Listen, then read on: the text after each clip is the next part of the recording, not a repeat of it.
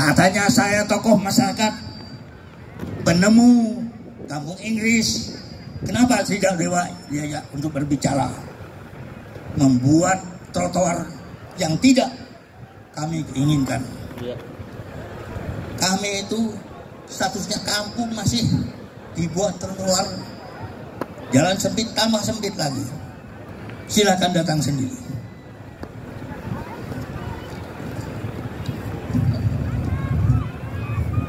Mohon maaf tempatnya pembangunan ini cenderung lebih mementingkan pemandangan yang indah daripada kemanfaatan dan kenyamanan masyarakat. Dua, sehubungan dengan ini kami juga memohon agar sebutan wisata edukasi diganti. Menjadi kata-kata wisata ini kita ganti menjadi wawasan edukasi. Kawasan edukasi. Kawasan edukasi bukan menjadi wisata. Kalau wisata cenderung wisatanya lebih kuat daripada edukasi. Jadi orang datang ke sini akan lesir saja lihat sana lihat sini lalu pulang. Tapi yang ada sudah puluhan tahun. Kami 46 sudah 46 tahun ini membuktikan orang datang sini datang pergi belajar bukan wisata. Iya.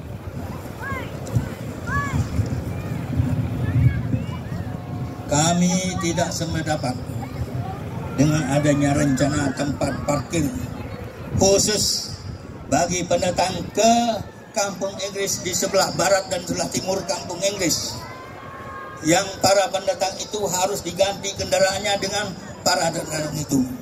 Harus diganti dengan kendaraan antar jemput ke lembaga kursus di mana tempat mereka belajar. Kami tidak setuju dengan ini. Ini katanya untuk menambah income masyarakat. Maaf yang akan terjadi. Kursus kami kering jadinya. Peserta akan lenyap tidak ada. Terus sayang.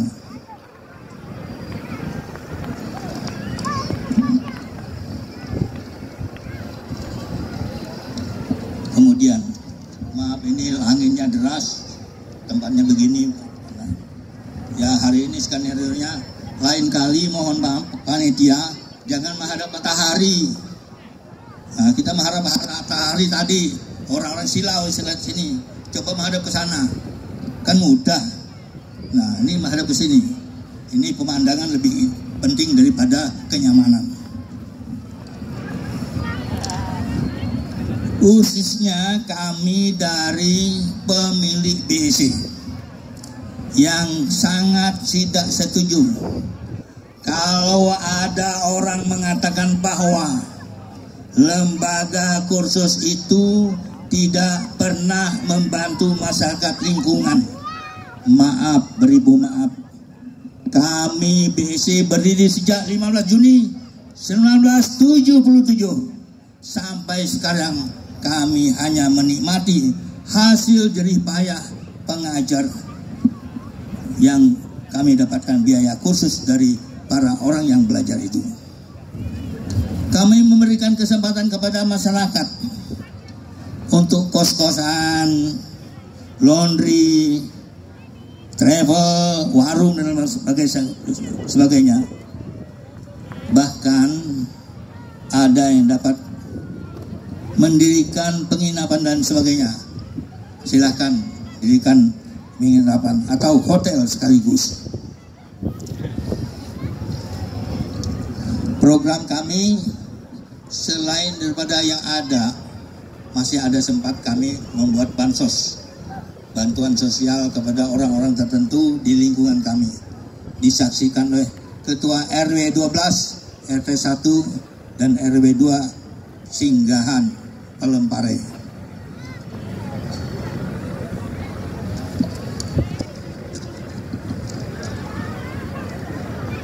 Di sini kalau tadi semangat dibantu oleh pemerintah segala HP dan sebagainya.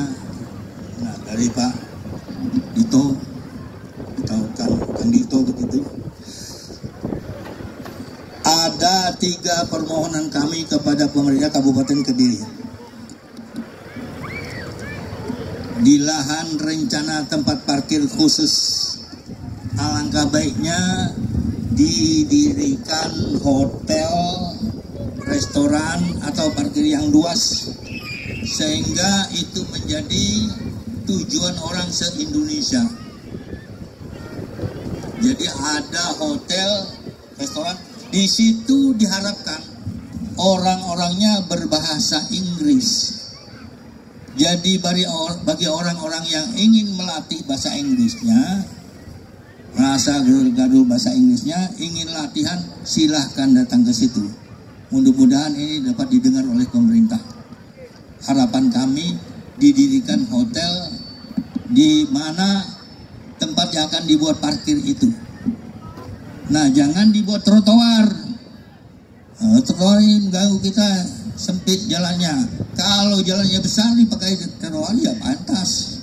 Seperti yang di selatan kami itu. Ini di UKBC hanya berapa meter lagi ya.